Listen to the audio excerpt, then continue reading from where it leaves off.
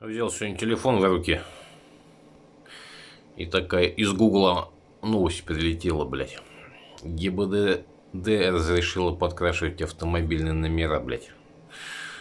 Ну, спасибо, отцы-кормильцы облагодетельствовали, блядь. То есть я так понимаю, что раньше было запрещено их красить. Хотя я налога не ездил, у меня, блядь, вообще все затерто было в ноль, нахуй.